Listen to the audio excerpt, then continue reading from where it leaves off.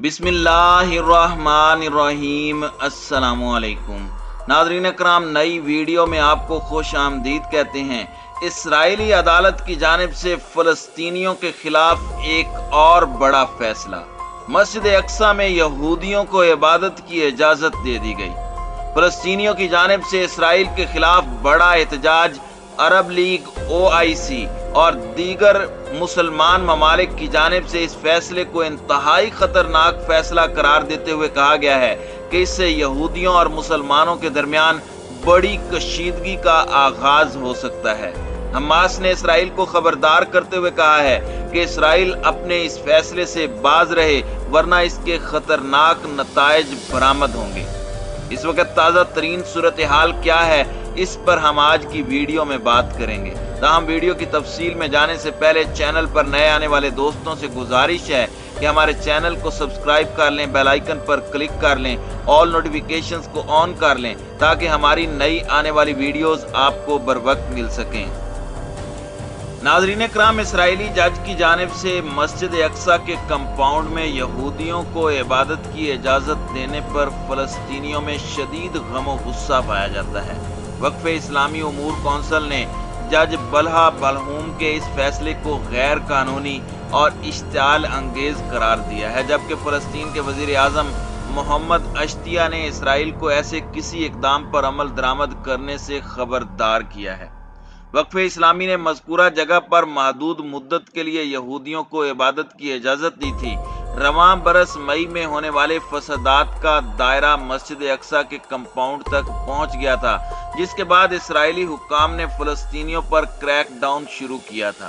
Israel में ऐसा कोई कानून नहीं है जिससे यहूदियों को मस्जिद अक्सा में इबादत से रोका गया होता हम उन्नीस में छह रोजा जंग के बाद इसराइली हुकाम ने तनाज़ात से बचने के लिए यहूदियों पर यहाँ इबादत करने पर पाबंदी आयद की थी।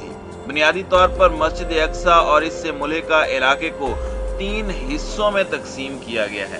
बुनियादी तौर पर मस्जिद अक्सा और बैतुल मकदस, ये दोनों हिस्से तीन मजाहिब, यानी यहूदियों, ईसाइयों और मुसलमानों के लिए मुकदस मकाम के तौर पर जाने जाते हैं। मस्जिद अक्सा के तीन हिस्सों में से एक हिस्से पर मुसलमान काबिज हैं और मुसलमानों को मस्जिद अक्सा में इजाज़त दी गई है। लेकिन अब हालिया कानून के बाद यहूदी मस्जिद अक्सा में दाखिल होकर वहाँ इबादत कर सकते हैं। यहूदी जज के इस फैसले के बाद अरब लीग ने भी इसराइल को खबरदार किया है। अरब लीग के सरबरा अहमद अबुल गैस ने यहूदियों को मस्जिद अक्सा में इबादत की इजाज़त देने के इसराइली अदालत के फैसले की मजम्मत की है। चीनी खबर रसा इदारे के मुताबिक अरब लीग के सेक्रेटरी जनरल ने अपने बयान में इस इकदाम को खतरनाक और नई इसराइली हकूमत के अजायम और फलस्तीनी अवाम को निशाना बनाने के इसके मुसलसल मंसूबों का आईना दार करार दिया है। उन्होंने इस इकदाम को मस्जिद अक्सा के कंपाउंड को तकसीम करने की तरफ़ एक खतरनाक कदम करार दिया है। उन्होंने कहा कि इसराइली पॉलिसियाँ बशमूल अदालती फैसलों से फलस्तीनियों के मुश्तिल होने का खतरा है और इससे फलस्तीनियों के मजहबी जज्बात मजरू होंगे। उन्होंने बैन अवी बिरादरी पर ज़ोर दिया कि वह मकबूजा बैतुलमकदस की कानूनी और तारीखी हैसियत को बरकरार रखने की ज़िम्मेदारी अदा करे।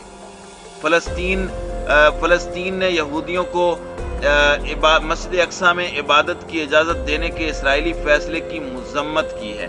फलस्तनी वजारत खारजा ने एक बयान में कहा कि इसराइली अदालत का फैसला मस्जिद अक्सा और फलस्तीन के खिलाफ वाज जारहीत है। ये फैसला मस्जिद अक्सा और इसकी कानूनी और तारीखी हैसियत को खतरनाक नतज की तरफ़ ले जाएगा। उन्होंने कहा कि इस फैसले का मुकाबला करने के लिए तमाम सियासी और सफारती इकदाम किए जाएँगे। बयान में कहा गया कि फलस्तीनी वजारत खारजा, इलाकाई और बैन अवी सतह पर उर्दन, अरब लीग और इस्लामी ताउन तंजीम ओ आई सी के साथ इस सिलसिले में कोशिशों को मरबूत करेगी। इस्लामी जिहाद के सेक्रेटरी जनरल का कहना है कि इसराइल के साथ दोस्ती करने और दुश्मनों के साथ ताल्लुक इस्तेवार करने वाले ममालिक फलस्तीनी कौम के साथ गद्दारी के मुरतकब हो रहे हैं।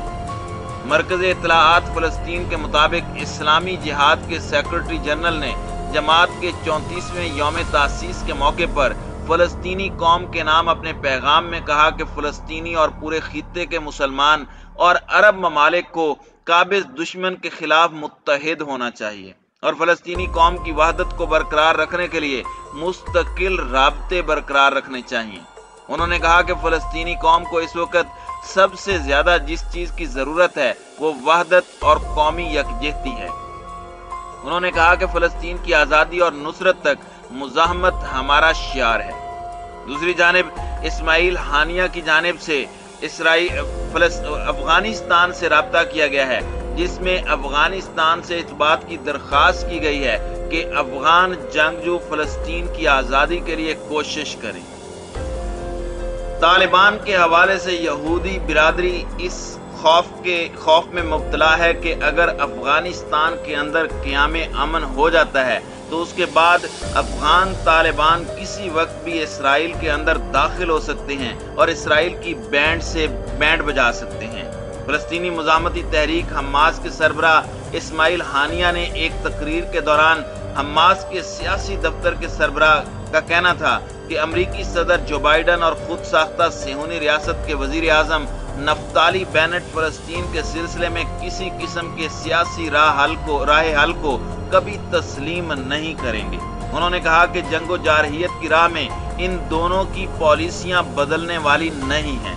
हमास के रहनुमा का कहना था कि सेहूनी हुकूमत गजा और मगरबी किनारे में अपनी जारहाना पॉलिसियों फलस्तीनियों की जमीनें हड़पने और उनके हकूक की पामाली का सिलसिला बदस्तूर जारी रखे हुए है। इस्माइल हानिया का कहना था कि मेरा मानना यह है कि इसराइल के सिलसिले में अमेरिका की पॉलिसियों में किसी किस्म की तब्दीली नहीं आएगी, क्योंकि इन दोनों के बहुत से मफादात आपस में जुड़े हुए हैं और वो उनसे चशम पोशी नहीं कर सकते। खुद साख्ता सेहूनी हुकूमत के साथ बाज अरब हुकाम के दोस्ताना माहों पर तबसरा करते हुए उन्होंने कहा कि हमास को इस किस्म की कुर्बतों पर बड़ा अफसोस है खास तौर पर यूएई, बहरीन और सऊदी अरब पर, जिन्होंने हालिया होने वाली फलस्तीन इसराइल जंग में फलस्तीनियों की किसी किस्म की मदद नहीं की।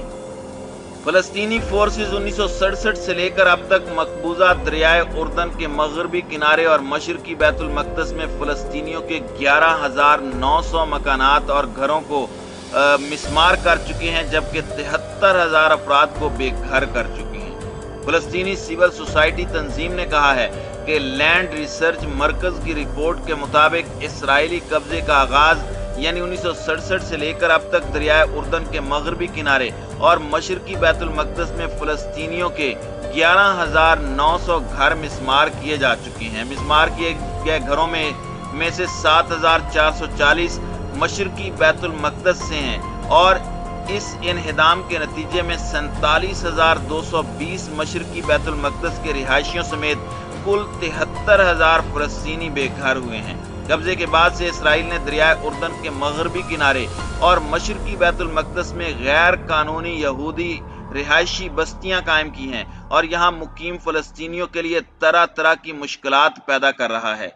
नाजरीन कराम वाज रहे कि इसराइल इसराइली इंतजामिया दरियाए उर्दन के मगरबी किनारे के सी जोन और मशरकी बैतुलमकदस में बिला इजाज़त तामीर को वजह दिखाकर वक्तन फवक्तन फलस्तीनियों के घर मुनहदिम करती आ रही है। तमाम फ़लस्तियों का कहना है कि तामीर की इजाज़त के लिए उन्हें बाज औकात सालों तक इंतज़ार करना पड़ता है। फलस्तीन में अलकुदस के अवाम की बहबूद और दिफा के लिए सरगर्म अलकुदस के लिए यूरोपियन ग्रुप की तरफ़ से जमा करदा डाटा के मुताबिक गुजशत माह सितंबर के दौरान इसराइली फौज के हमलों के दौरान अलकुदस शहर में पाँच फलस्तीनी शहीद और एक सौ चौवन को हिरासत में लिया गया है। सितंबर में इसराइली फौज और यहूदी आबादकारों ने फलस्तीनी शहरियों की जानो माल पर हमलों का सिलसिला उरूज पर रहा। ग्रुप की तरफ़ से अलकुदस के हमलों की तफसीत पर मबनी माहाना रिपोर्ट में इसराइली फौज की 555 खिलाफ वर्जियों को 14 इंसानी हकूक की खिलाफ वर्जियों में तकसीम किया गया। रिपोर्ट में इस बात की निशानदही की गई कि उनकी खिलाफ वर्जियों की अक्सरियत फलस्तीनियों की गाड़ियों पर हमलों की शक्ल में देखी गई, जिसके नतीजे में सताईस इशारिया सात फ़ीसद की गिरफ्तारियाँ अमल में लाई गईं। रिपोर्ट इसमा इसराइली फौज ने अलकुदस के महलों में मकबूजा में की, की तरफ़ से फायरिंग के बत्तीस वाकयात का भी इंकशाफ किया है।